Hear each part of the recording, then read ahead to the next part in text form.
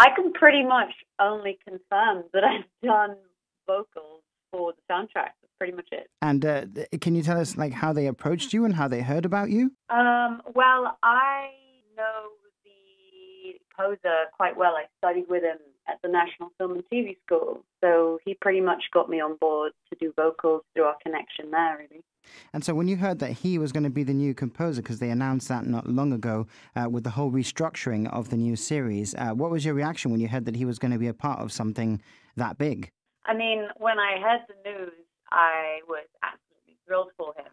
Studying at NFTS, you kind of develop this camaraderie with um, the people that you're surrounded with. So, I mean, like, you know, I gotten to know him really well and he really deserves it. He's a really talented guy. I'm really happy for him. Did you know about Doctor Who? Had you ever watched it? I obviously know of Doctor Who. I think everyone, everyone in the English-speaking world and beyond that knows of Doctor Who. It's iconic, really. Oh, will you be watching to hear back uh, the work that you that you did on the show, and maybe try and listen out to bits that you did? no doubt. I think everyone uh, of my family members will be doing the exact same thing.